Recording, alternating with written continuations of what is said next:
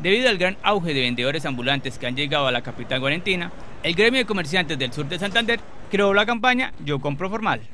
Yo Compro Formal, esa es la nueva campaña de Fenalco Sur de Santander que queremos liderar con todo el ánimo de sensibilizar a la comunidad sobre la responsabilidad que todos tenemos para contribuir al orden de nuestro municipio. Para nadie es un secreto que eh, la cantidad de vendedores ambulantes en San Gil pues va en aumento, principalmente en épocas de temporada, incluyendo por supuesto los días domingo, y son personas que vienen de otras ciudades a generar caos y a adueñarse de manera indebida del espacio público.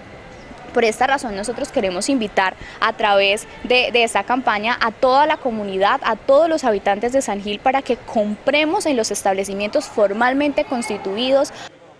Los comerciantes formalmente constituidos están de acuerdo con FENALCO al asegurar que San Gil tiene un problema muy grande de invasión de espacio público por parte de comerciantes informales. Bueno, nosotros como comerciantes del sector aquí de San Gil estamos acompañando la campaña de FENALCO de que todo el cliente o todas las personas de San Gil pues apoyen más al comerciante organizado. Tratar de, no apoyar al, informal, al que está en la calle, porque pues eh, hay que apoyar lo nuestro.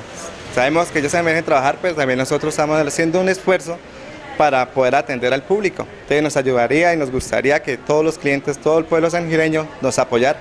Para mí es muy importante que se le dé eh, de verdad eh, prioridad al eh, comerciante que está bien organizado. Nosotros tenemos que cumplir con una serie de compromisos eh, mes a mes y realmente sí nos vemos afectados. Personalmente me he visto muy afectada con las casetas que montan acá enfrente de mi restaurante. Aparte que mi restaurante es eh, al fondo, las casetas lo bloquean totalmente. Yo pues toda la temporada estuve en ese, me perjudicaron bastante. Con relación a los controles que realiza la autoridad, algunos comerciantes comentaron lo siguiente. El control que, que les han hecho es muy mínimo, porque aquí por ejemplo hay veces los festivos, en el parque se forma un mercado persa, el uno vende una cosa, el otro otra cosa, mejor dicho, los carnetizados son muy pocos, entonces, y nadie controla nada.